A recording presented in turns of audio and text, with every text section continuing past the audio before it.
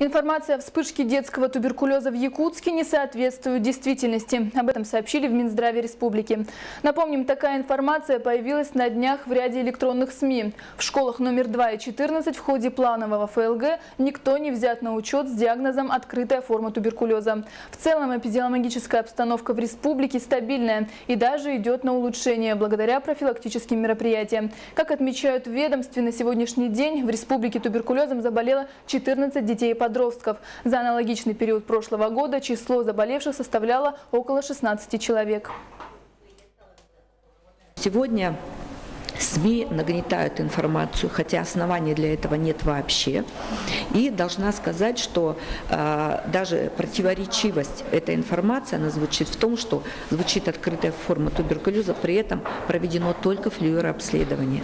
Мы не можем по флюорообследованию сказать, что есть там туберкулез или нет. Мы флюорообследование делаем только для того, чтобы выявить какую-либо патологию легких. И должна сказать, что при флюорообследовании мы являем иные заболевания легких. В нашей республике выявление туберкулеза вот с бактериовыделением у детей бывает только в единичных случаях.